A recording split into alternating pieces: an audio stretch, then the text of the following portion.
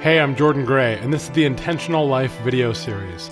From sex, relationships, communication, and character development to health, creativity, and self love, The Intentional Life is your go to source for powerful, actionable advice from amazing, world changing people.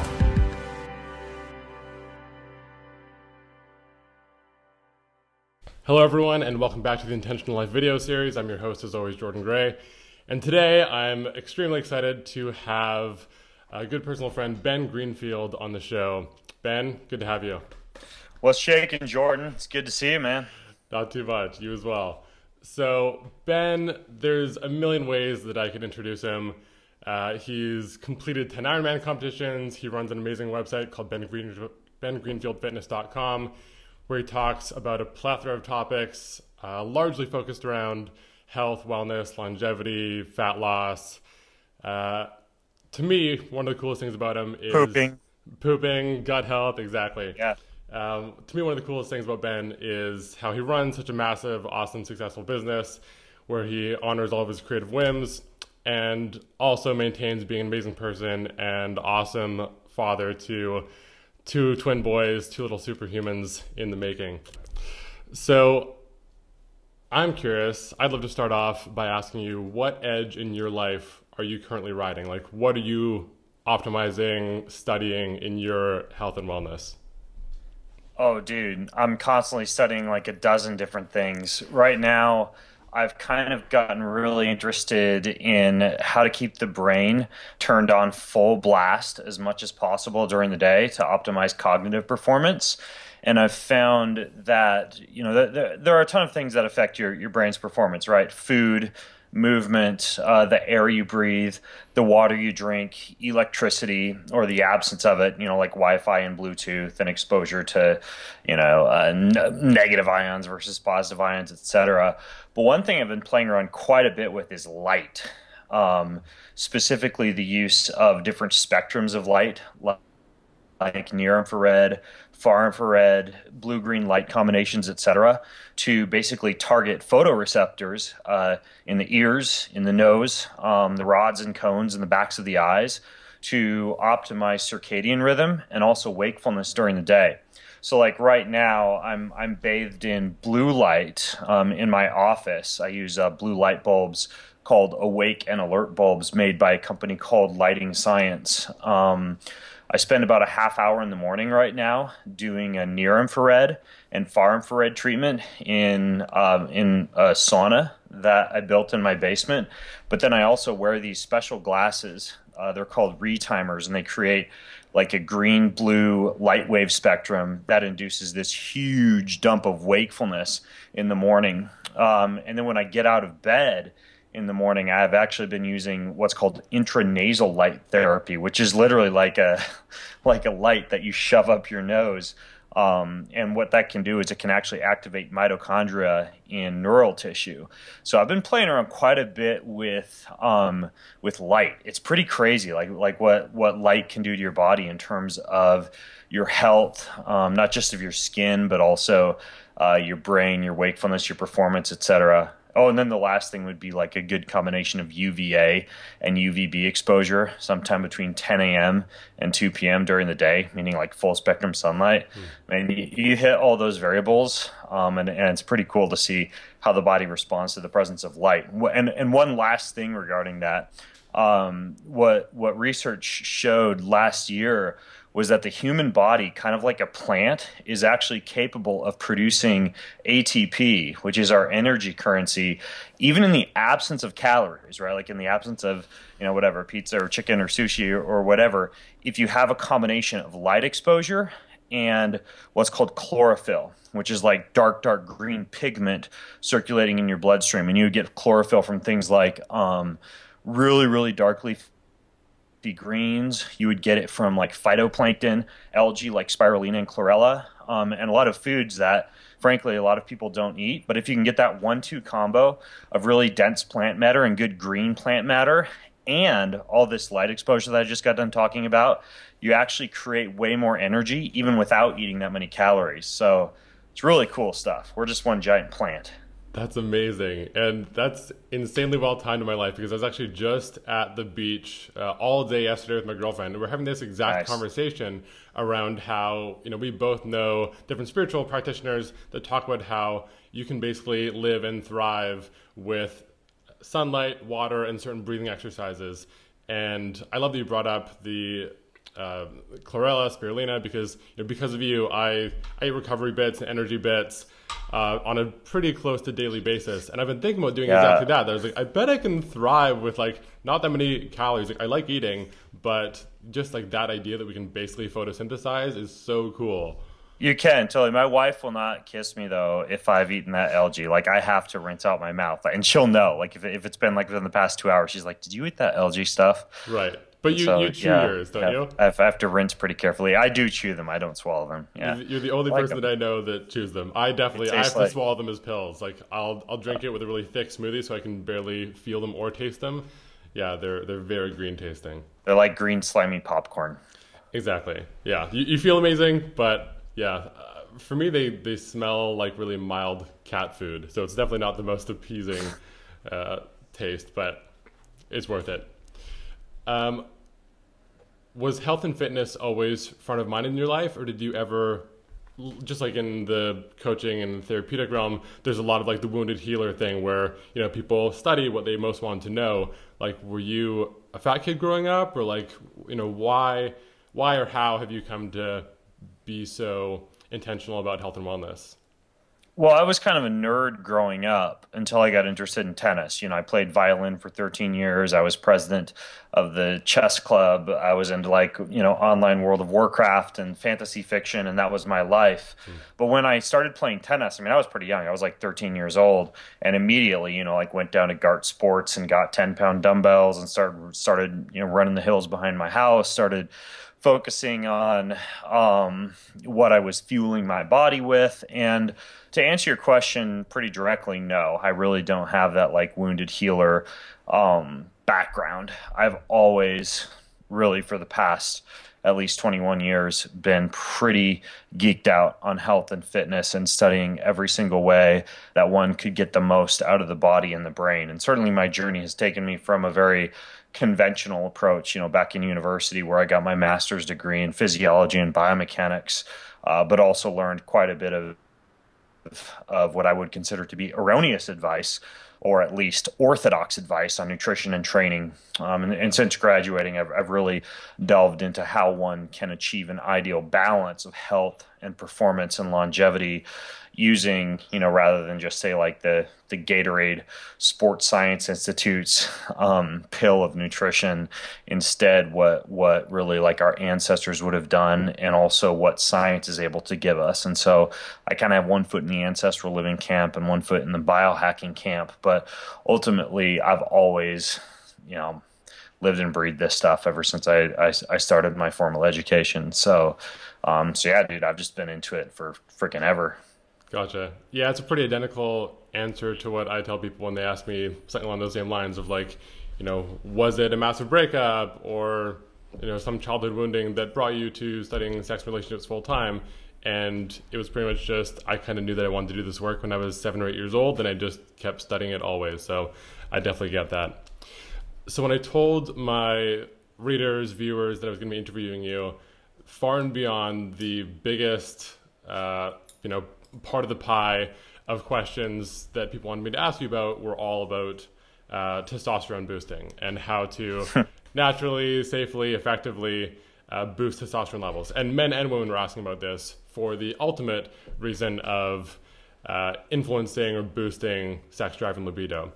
Right. So, so I'm curious, what uh, what comes to mind? What are some of the, the highest leverage natural ways that people can boost testosterone in their bodies? Well, uh, you know, I'm I'm glad that you asked it that way rather than asking which supplement can you take to increase testosterone because frankly, that is what I find to be the mistake a lot of people make is is they grab the pill or the liquid or the potion first and really there are so many things you can do to increase testosterone before you turn to bioidentical hormone replacement therapy or, or a supplement or an herb.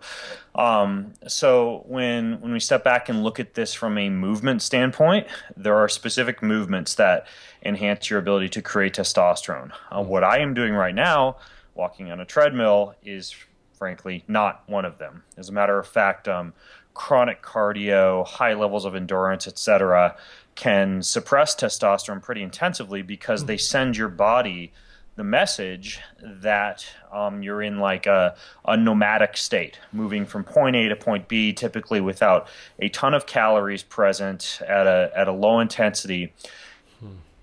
And so uh, I'm, I'm not talking about hunting or gathering or gardening. What I'm talking about uh, would be like Ironman triathlon training, marathoning, cycling, etc. Yeah. Um, and you know, walking on a treadmill while you're working during the day really isn't that big of a deal. You know, at a, at a super slow pace, that really is more like hunting or gathering or gardening or something our ancestors would have done. But um, like medium intensity, steady state cardio, long treadmill runs, long bike rides, long swims, stuff like that definitely suppresses testosterone. My testosterone, total testosterone, was at about 300 when I was competing in Ironman, and literally within four months, changing nothing aside from quitting, you know, the, those long weekend workouts, my testosterone doubled up into the mid 600s just by stopping the chronic cardio. Hmm. Um, what what do you replace it with? The two forms of movement that have been shown to cause both an acute and a chronic increase in testosterone. That would be sprints and heavy weightlifting. So, heavy weightlifting, what I mean by that would be doing something in a range of three to eight repetitions, preferably with like a 90 second to a two minute recovery period in between exercises, with a specific focus on the legs. There's something about leg based exercise that causes an increase in not just testosterone, but also growth hormone. So, um, an example of a good workout program would be something like um, there, there's one called StrongLifts 5x5 program, where you do five sets of five repetitions of a handful of full body multi joint exercises that definitely incorporate the legs. So, an example of a workout like this would be you're going to go to the gym, you're going to do a quick warm up, and then you've got uh, five sets of five deadlifts, squats, overhead press, uh, pull up, and uh, walking lunge. And in between each of those, for like the 90 second to the two minute recovery period in between each of those, rather than just sitting on your butt or watching TV at the gym or reading Men's Health or Women's Health, uh, while you're while you're slumped over on the bench, you do mobility exercises. So I'm all about using every minute that you have available doing your workout um, to make your body better. So that means if I'm recovering, and just did a workout like this in, in the hotel gym a few days ago when I was traveling, if I'm recovering from a set of deadlifts, rather than just sitting or walking or talking, I will get into a crawl position and do like opposite arm, opposite leg extensions.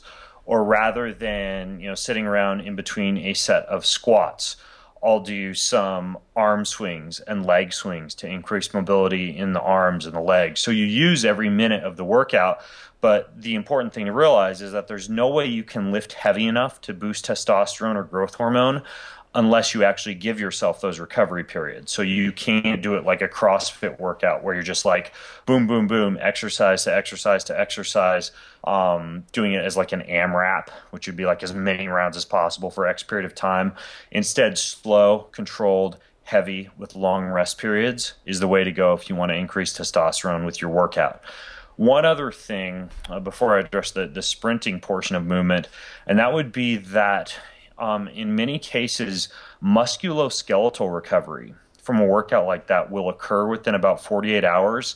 But for myself, for the clients that I work with, for the people who I advise, um, for the articles I read on my site about recovery, I'm also a big, big fan of tracking your neuromuscular recovery, not just your musculoskeletal recovery. So, what I mean by that is that your, your nervous system takes longer to recover from a heavy, hard workout than your muscular system. And this is important because if you overtax your nervous system, it can affect your adrenal pituitary axis and it can affect your testosterone production. So I'm a fan of tracking what is called heart rate variability or HRV. Uh, I, I could you know talk for a long time about HRV, but in a nutshell, it is a measurement that you can take that tells you whether or not your sympathetic and your parasympathetic nervous systems are recovered from a training bout. Um, it's a simple five minute measurement you can do every morning. I don't do a lot of self quantification. I don't walk around with electrodes strapped to my head measuring my brain waves all the time, but I do for five minutes in the morning. I measure my heart rate variability. And what I've found is that in, for most people, it's about 72 hours of recovery that it takes to recover from like a hard and heavy weight training workout designed to increase testosterone and growth hormone. So, long story short, what that means is that you would be looking at about two of these type of workouts per week, right? So, for example, like a, a Monday and a Thursday, or a Tuesday and a Saturday. So, we're not talking about like four to five days a week, full body five by five. We're talking about a couple times a week lifting heavy. Um, number two would be sprinting. Um, sprinting would be specifically sprinting at for a length of time that targets what is called your phosphogenic energy system. So we have our aerobic, go long energy system. We also have an energy system called our glycolytic energy system, which would be what we use to tap into like glucose and carbohydrates. So uh, an example of the former would be running for 60 minutes. An example of the latter would be uh, 800 meters on the track, where you're running for like two minutes. But what we're actually trying to target to increase testosterone would be the phosphogenic system, which is where your body's just splitting creatine to use that for energy. It's it's not draining at all, but it gives your body just that brief burst of intensity that causes a release of testosterone. So this is typically the 10 to 30 second interval time range. So, an example of a workout would be you're going to do um, 10 30 second sprints on the treadmill with full recovery in between each. Okay, so you could you could set a treadmill at say like whatever nine miles an hour on a 9% incline and just set it to go. You hop on, you run for 30 seconds.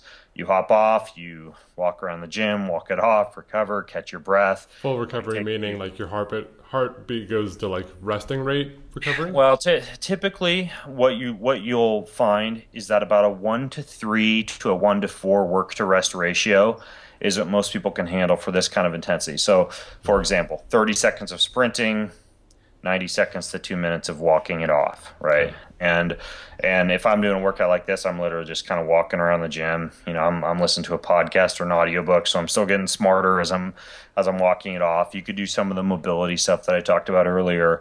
Another example would be um, maybe you're going to put on your your favorite TV show that you want to catch up on. You're going to hop on a bike and you're going to do um, eight 20 second all out sprints on the bike. Um, and, and, you're going to do full recovery after each of those. That would be another example. Variety of ways that you can you can do the sprinting, but again, about twice a week doing some form of sprinting, along with twice a week doing some form of heavy lifting, are both two ways to to really boost testosterone with the type of movement protocol that you do. We could talk for a long time about exercise, but th- those would be your two biggest wins when it comes to movement. Two clarifying questions on those. First one was in the 5x5x5, are you doing five sets of each of those heavy exercises? Like if you're doing three to eight repetitions, you're doing five sets of that? So in a typical 5x5 workout, it's three to five sets.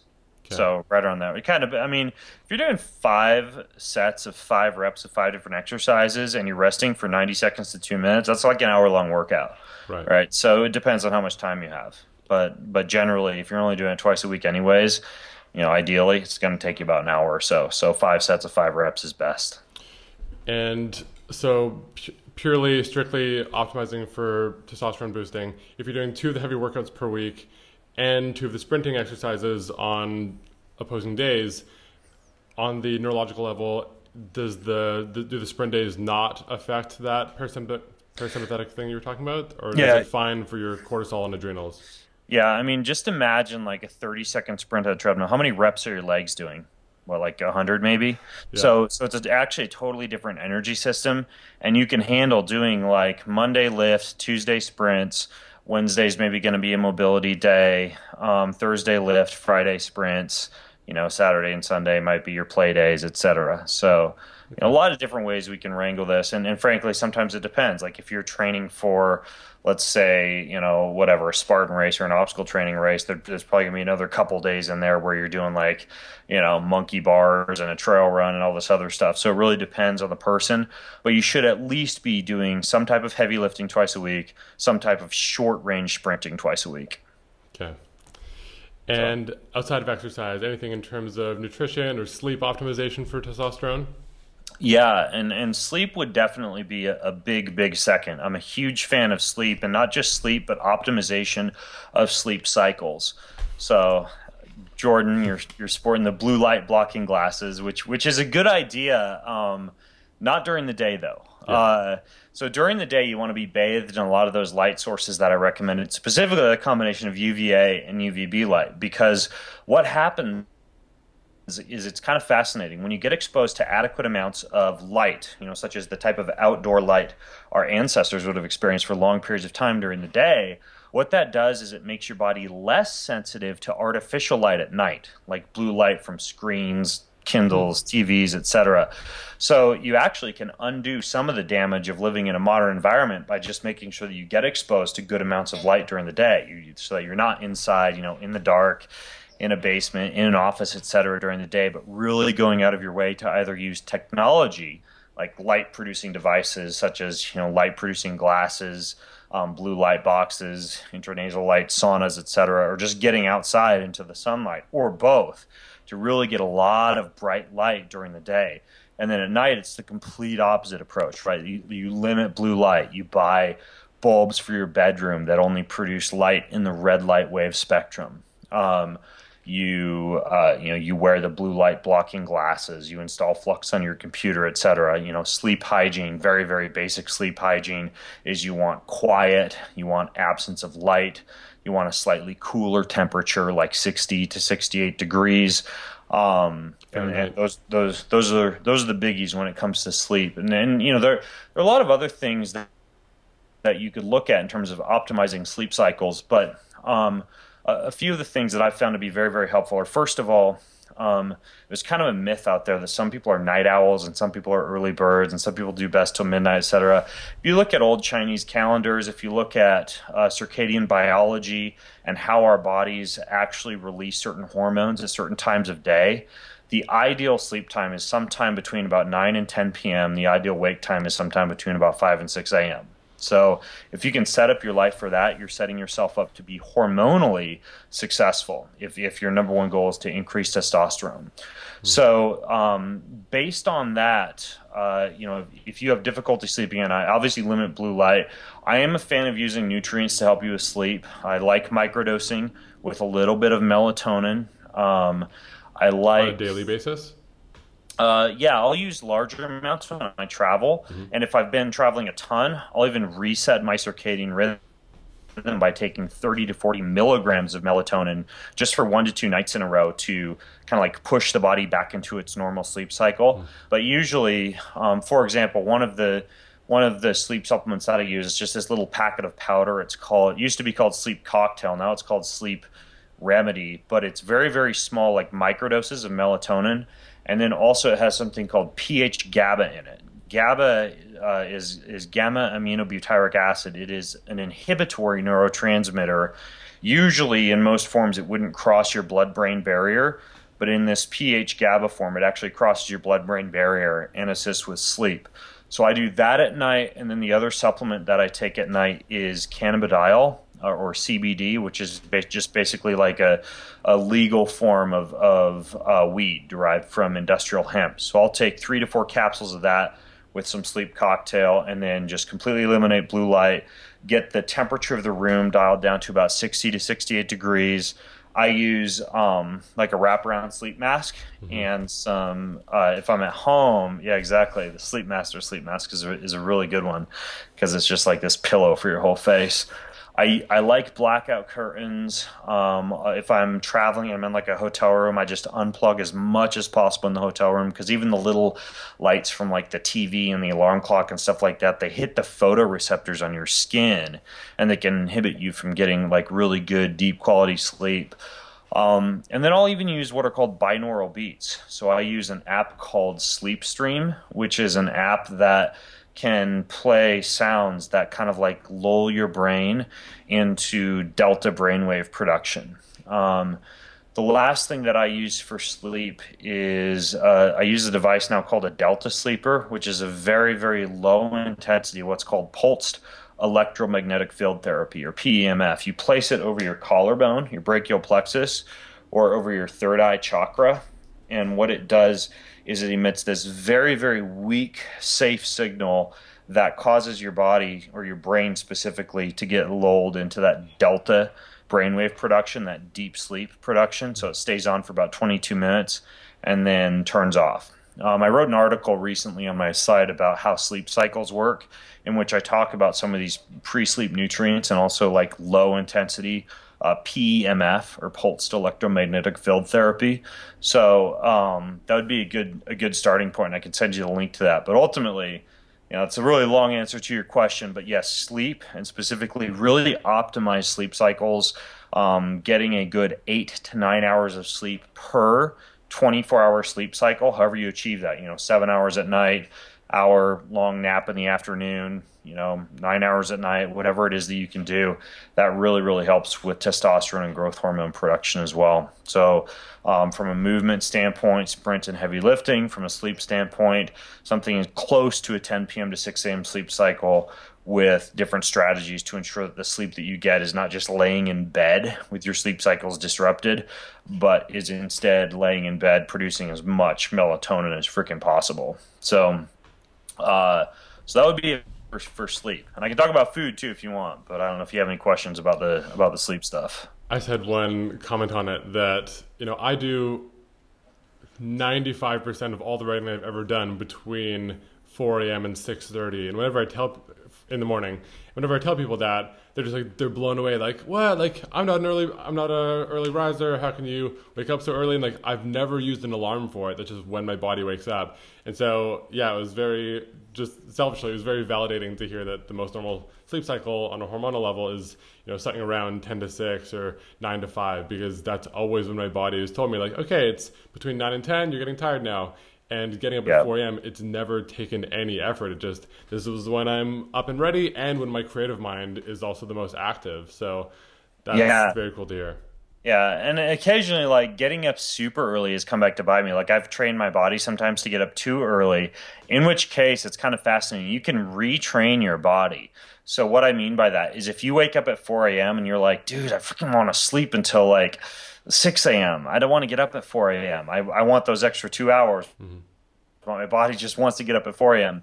Well, what you can do is you get up at 4 a.m., but you actually wear the blue light blocking glasses and you stay in a relatively dark environment and you work in a dark environment. You do whatever it is that you're doing in a dark environment. And then when the time comes that you actually do want to wake up, when the time comes that you actually is is like the your your ideal wake time, then you just get exposed to a ton of blue light. Like you put on the blue light producing glasses, or you go outside and you stare into direct sunlight for like five minutes, or you mm. send your body some kind of big blast of light, and that gives your body the message. That's also when you would time a meal, by the way. That all, all that will give your body the message that that's the new wake time. That 4 a.m. is the old wake time. And once you do that for a few days, you can literally it's called shifting your circadian rhythm forward. So it can work really well for people who just like wake up super early and get frustrated because they're waking up like almost too early. Because I know that happens to to some people, and they, and they just want more sleep. So, right. Um, so food. Um, yeah, food is a biggie, and I mean, like, I'd probably be insulting people's intelligence uh, at this point these days if I said that eating enough fat helps with your hormones because most people know that. Um, you know, most people realize that you know that. Uh, fat is no longer enormously implicated when it comes to cardiovascular disease and health, and really sugar is the bigger issue. Um, but when it comes to fat, you know, what, what types of fat are best for doing things like supporting uh, hormonal precursors or cell membranes or cholesterol? Um, well, a, a few things that you want to focus on. First of all, um, if you get your blood cholesterol tested, do not freak out if your total cholesterol is above 200. I purposefully keep my cholesterol above 200 because of the effects on hormones and also the effects on IQ. Um, this is why people who are who are vegans or vegetarians need to be careful to include enough fat in their diet to boost that cholesterol very very high.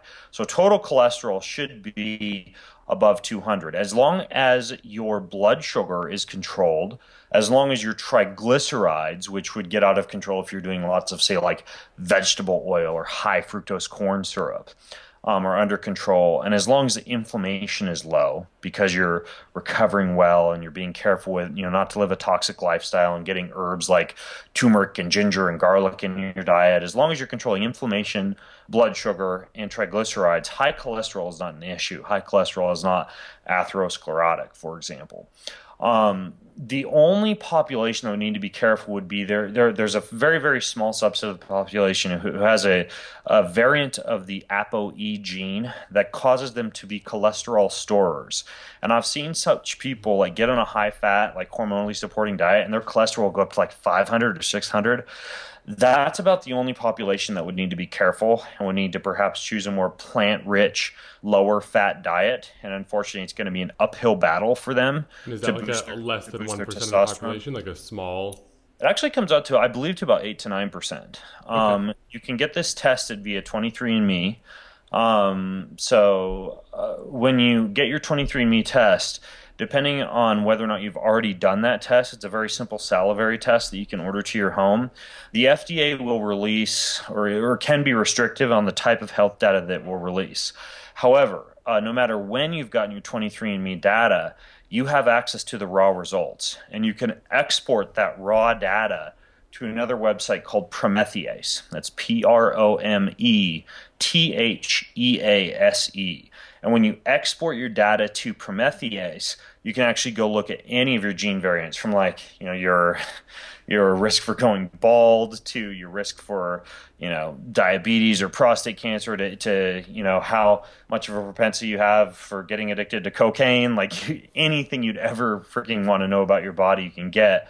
It costs five bucks right now, I think, to export the data to Promethease. So well worth it. But ultimately, you know, that that's a little bit of a rabbit hole. But be careful with the high fat thing if you do have the the 4-4 variant of the ApoE gene. It makes you a cholesterol storer.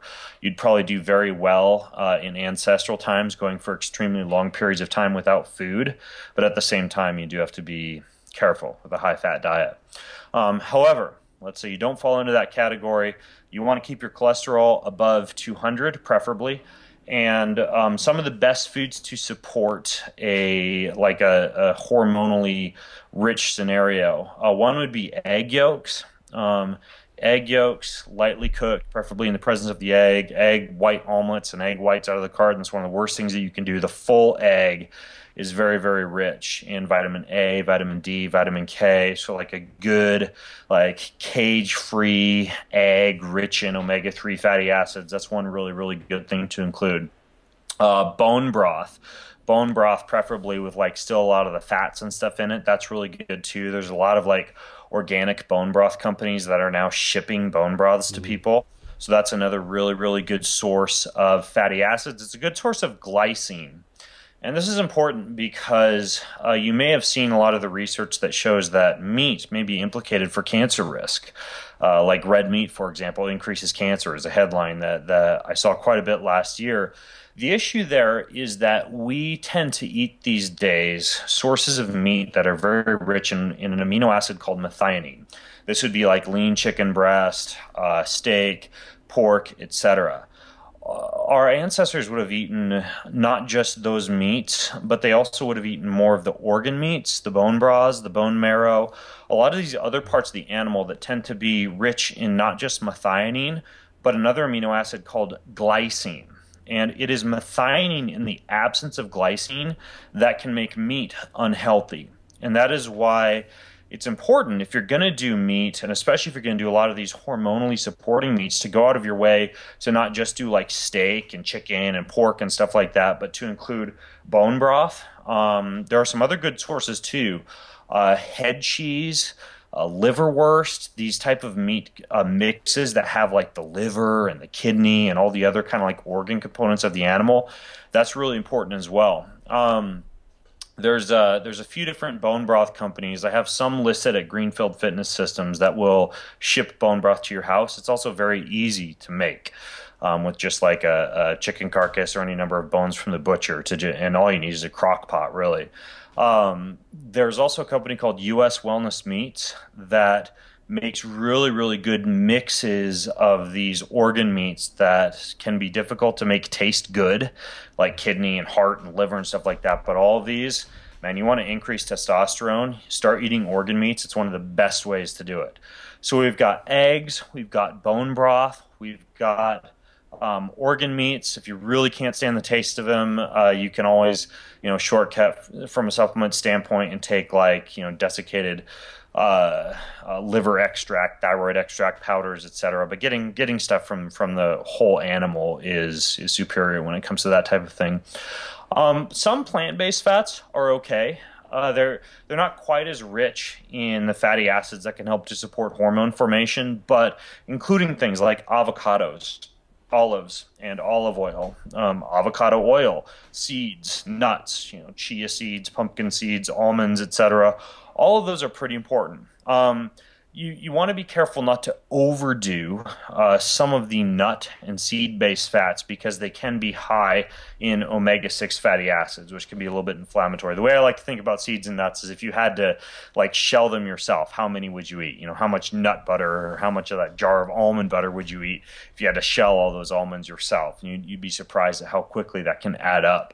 Of all the nuts that are out there, in terms of the ones that are best for testosterone, um, you'd want to be looking for the ones that contain lots of zinc and selenium. Two of the good ones uh, for seeds would be pumpkin seeds, and for nuts would be Brazil nuts. Um, Brazil nuts uh, notoriously tend to be rancid or moldy, so I, I, would buy them in the shell from a website like nuts.com or from Amazon, and then keep them in the freezer where they can't get moldy, and then just shell three to five of those a day, and those can be really, really good for testosterone.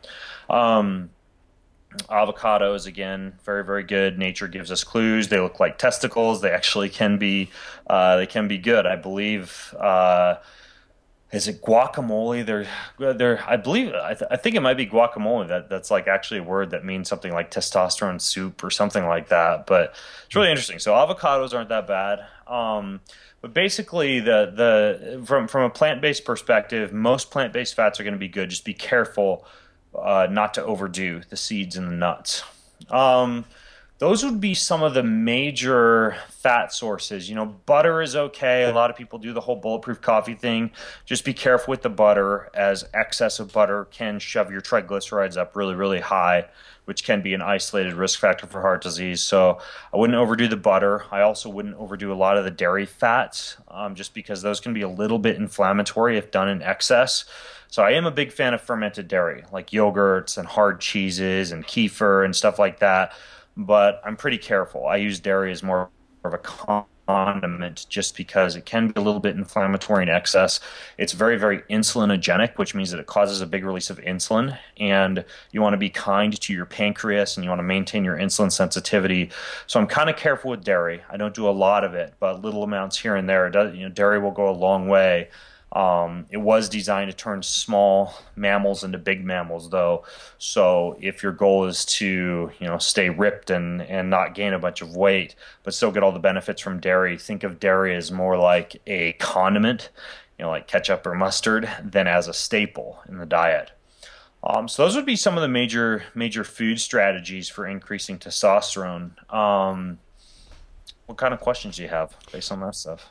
Coming back to eggs, is there a general weekly limit that people should be staying mm-hmm. beneath, or are the rules around that kind of non-existent now? If you're eating high quality eggs, so I personally only do about three to four eggs a week. That's just me personally. Mm. My kids have more than that. Like we have a huge flock of chickens outside, so there's plenty of eggs around the Greenfield house but um, you can be tested for egg sensitivity. There's a really, really good lab that does really good, like gold standard testing for proteins. A, a lot of, of labs that test for food allergies, they'll test your blood cells, your white blood cell sensitivity to a protein that's isolated from the raw food source, like raw eggs or raw pork or raw chicken and almost everybody tends to have some kind of sensitivity to the raw form of a protein. until you'll do like an ELISA uh, or an ALCAT blood test, and you'll come back with like 300 foods that you're freaking not supposed to eat. And it's really annoying. And a lot of times it's not because you're allergic to those foods, it's because you're allergic to the form of those foods that they use for that test. Yeah. There's a company called Cyrex, C Y R E X, that does really, really accurate testing for everything from like gluten sensitivity testing to lactose to eggs, etc. I've tested a little bit sensitive to eggs, so I'm careful with my own egg exposure. So the the, the ultimate answer is it kind of depends. Like some people just don't feel well when they do a lot of eggs. Um, ultimately, I'd say we live in a day and age where you can get really, really good, accurate lab testing to see what your egg allergy or other food sensitivities might be. So that'd be a, a test worth spending your money on. Um, unfortunately, it's not one of those tests you can order to your house. You actually have to have a, a doctor order it. Um, but you could look up any number of different functional medicine practitioners. There's one guy who sells them online from his site, um, Dr. Tom O'Bryan. It's thedr.com, T H E D R.com. He's one of the, the, few guys I know who who like has the ability to sell Cyrex lab tests from his site. Um, but ultimately, you know, the the the answer to your question is get tested for egg sensitivity or limit egg consumption and just work in all these other fats too. You don't need a lot of eggs. Like eggs will go a long way if you average like you know one a day or every two days. That's that's pretty good as far as eggs go. Hmm. I'm really surprised by that because, uh, you know, I definitely have gone about this in a very unscientific way. I haven't gotten tested for sensitivity to them, but for me, I know that one of the most predictable ways that I can experience a huge boost in testosterone, which I feel uh, as a boost in my creativity and a boost in my sex drive, like within you know within 12 to 24 hours is do a very like squat heavy you know heavy lifting leg day and have three to four eggs with grass fed mm. butter in one sitting and like mm. that night i'll be so creative slash so horny that like i won't be able to function without writing and or having sex yeah, you're probably you you probably don't have much of a food sensitivity or food allergy reaction to eggs. Okay. Like I do. You know, for me, I would I would have that same reaction, but for me it'd be like a big piece of fish with some avocado or guacamole. Like that'd be more the way that I'd go personally. Gotcha. Okay. Uh, on a, a, bit of a tangent, a few people asked, not as many about the general testosterone uh, tangent, but a few people asked that because they had been following, and if anyone's been following my stuff closely for the last uh, six months, especially, I've mentioned Ben's articles in multiple uh, pieces of mine around testosterone boosting. That because they'd implemented a lot of the changes that I'd been talking about, they had been having more sex, and these are generally people over 40 that are now experiencing joint pain because, you know, for example, they're having hours of missionary position sex, and then they stop and they go, "Oh, my knees are really." Uh, there's like a lot of uh, you know hip pain, joint pain, knee pain, and so you know I like that you did sprinkle a few things about anti-inflammatory uh, through the nutrition advice throughout. But uh, as a bit of a tangent, is there any you know high leverage, really important uh, tips, tricks, and tactics around? Uh, joint pain, whether that's around inflammation or you know something about targeting joints. Yeah, absolutely. So um, the the three most important things that you can do for your joints, based on the way that joints degrade. Joints degrade typically due to compression, due to lack of mobility, and due to lack of tensile integrity of the tendons and the ligaments that are supposed to be surrounding and protecting that joint. Um, hydration can be another factor too, so I should throw that in there. Uh, but basically, uh, what you can do, um, first of all, is deep tissue work. So twice a week, I do a full deep tissue mobility workout. Um, today is one of the days that I'll be doing that workout, but basically involves 60 minutes of just making love to foam rollers, lacrosse balls, like hitting every little nook and cranny of my body. Mm. And I have a video on YouTube. What I do is I get the most bang for my buck from a workout standpoint by mixing that up with like jumping jacks and burpees and lunges and arm swings and leg swings. So I'm getting a mix of deep tissue work to ensure that those tendons and ligaments and fascia surrounding the joints really don't have a lot of knots and cross linking in them. But then I'm also increasing blood flow and hydration to the joint mm. in between each of those moves. So that's that's really good.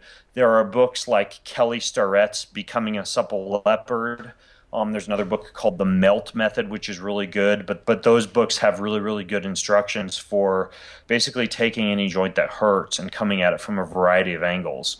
Um, traction is really important too. So I use both these super duper tight elastic bands to attach one end to an immovable object like a railing and the other end to a joint that I want to pull apart like a shoulder or an elbow or a hip or anything else that's hurting. Mm. And you literally just like pull yourself away from that object with the band. You're, you know, it's it's like the old medieval uh, torture practice of quartering someone. You're kind of doing that to yourself. Um, don't use a horse. Use use something a little bit more predictable than that, preferably. But basically, it's it's this concept called traction. I also hang upside down from an inversion table for a very similar effect on my hips and my back, etc. So I'm a huge fan of deep tissue work, huge fan of dynamic arm swings and leg swings, huge fan of traction. And then finally, from a supplement standpoint or a nutrient standpoint, there are a variety of really good anti inflammatory compounds that help with joint pain.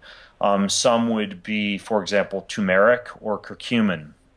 Um, ginger is really good tart cherry extract is really good. Glucosamine chondroitin is really good.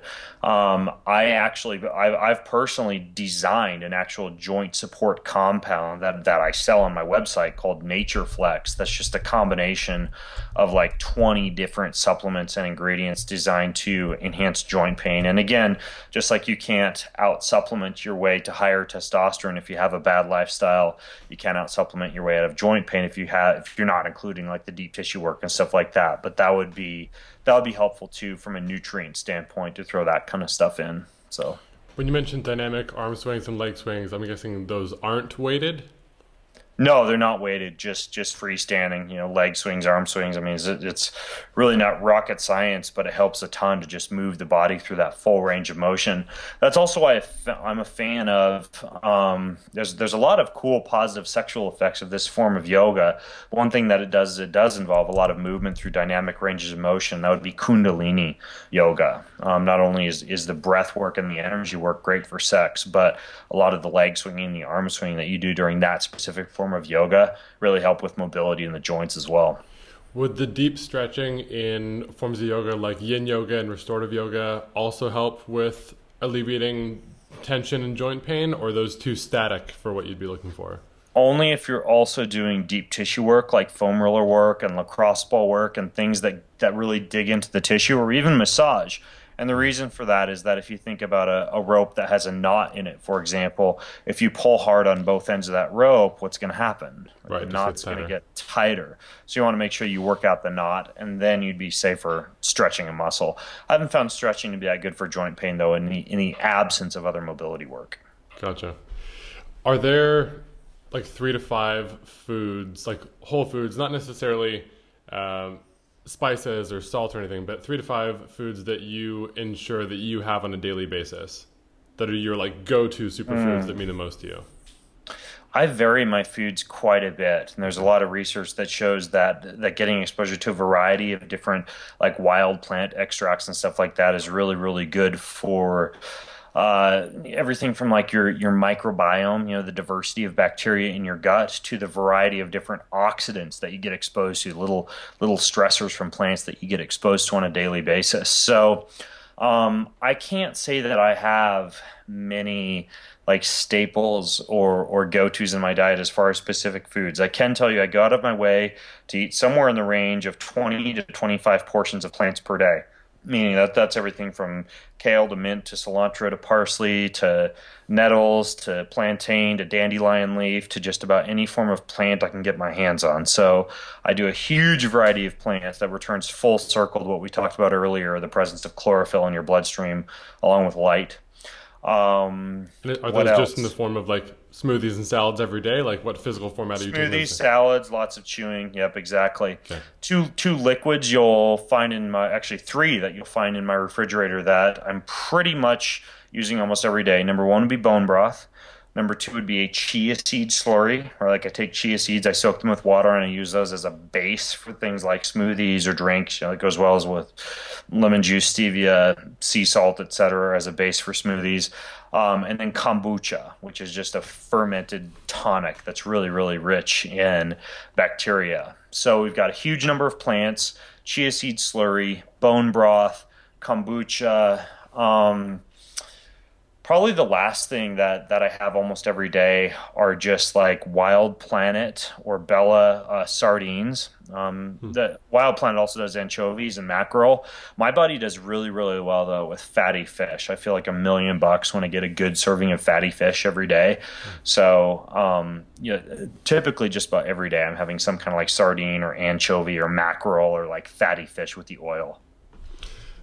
It's funny, you know, going into this interview, I knew I've been for everyone watching. I've been following Ben's content for at least two or three years now, and there there were a few things that I was aware of that you've had as influence in my life. I was like, oh yeah, like like blocking glasses and recovery bits, and energy bits, and uh, Nuun tablets whenever I have whenever I drink wine or have any slight hangover for hydration and uh, electrolytes and all that. But until you mentioned those three things, I forgot that kombucha, the chia seed slurry, and bone broth, like all three things that I literally have in my fridge and freezer right now that I forgot came from you. And the the chia seed That's funny. slurry especially, uh, you helped out our, our, mutual friend Sean, and he told me about that as a tip from you. And yeah, it was just you know put this I forget what it was called, like not broken cell wall, but like broken or cracked uh, yeah. black chia seeds that you soak in. You know, you mix in some hot water, let soak overnight. I also throw in a tablespoon of coconut oil and I'll either add uh, cinnamon and maybe banana in it as its own standalone breakfast, or just take the bowl that I've made the night before and just dump it into my smoothie. But yeah, I forgot that it. that was a that that was a Ben Greenfield approved tip. Awesome, awesome! I love it, and uh, I I got to go soon, but a, but a pretty uh, kind of kind of a quick fun fact about that Nuun that you held up, those electrolyte tablets. Um, the guy that used to own that company pivoted and went into the marijuana space, and he owns some some pretty big cannabis companies now. But just on the topic of sex and testosterone, my wife and I actually use one of his products. It, it's called Bond Sex Oil, and it's actually like a THC infused lubricant for sex, and and it was originally are designed by the same guy that makes those those Nuun electrolyte tablets. So just like a super super duper weird crossover now. He's not he's not doing Nuun anymore, but uh, this stuff's called uh, Bond Sensual Oil, and it's a, a THC infused sex lubricant. That's amazing. Yeah, and I'll be linking to everything that Ben's mentioned throughout the entire show in the show notes. Uh, you can find much more, and I deeply encourage you to check out Ben at bengreenfieldfitness.com. Uh, ben, anything I missed? Anything that I should be touching on before we head off here? Oh, you know, we we we didn't even even talk about like herbs and supplements and stuff like that. Um, but I would say, um, you know, that the, there's there's constantly research on on different things that will do a good job increasing testosterone. But one of the ones that that I've been using lately, um, based off a, stu- a study that was done on it, is blue spruce oil. You ever use this? Never even heard of it. No. It acts. It acts a little little bit similar to pine pollen extract, which you've probably heard of, yeah. as one way to increase testosterone. So a few drops of blue spruce oil in like a morning glass of water. You can get this from any essential oil company. It tastes like you're drinking a, a forest, more or less. It's very, very piney type of taste. That's actually something that's been shown in clinical research to increase serum testosterone levels. Um, and, and I'm all about anything natural like that, like a natural plant extract or a natural tree extract. So um, there's there's a fun one for you to look into, blue spruce extract. That's something I've been messing around with lately, and uh, I like the effects. So. Have you gotten yours just in an essential oil store? Or do you like a particular brand on Amazon, or what have you been using? I use the uh, the Young Living essential oils. You know, there, there's a lot of different essential oils out there, right? like DoTerra and Mountain Rose Herbs and Young Living. So just look for something quality. Gotcha. Amazing. Ben, this is absolutely one of the funnest and most value, value dense hour long interviews I've ever been a part of. So thank you so much for being on the show. This was cool. awesome. Yeah, happy to help. I we'll have to do it again to, to just delve into even more. But but thanks for having me on, dude. I'm honored. My pleasure.